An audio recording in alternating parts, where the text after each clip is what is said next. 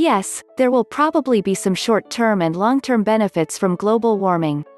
For example, the flip side of increased mortality from heat waves may be decreased mortality from cold waves. In the short term, farmers in some regions may benefit from the earlier onset of spring and from a longer warm season that is suitable for growing crops. Also, studies show that, up to a certain point, crops and other plants grow better in the presence of higher carbon dioxide levels and seem to be more drought tolerant. But this benefit is a two-edged sword. Weeds, many invasive plant species, and insect pests will also thrive in a warmer world.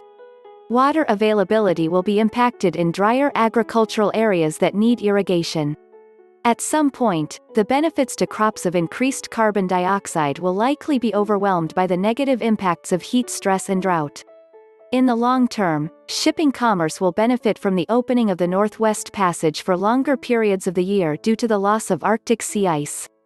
However, in the long run, if a business as usual approach to emitting heat-trapping gases is maintained at the present rate, or faster, then the negative costs and impacts of global warming are very likely to far outweigh the benefits over the course of this century, with increased potential for catastrophic impacts from more extreme events.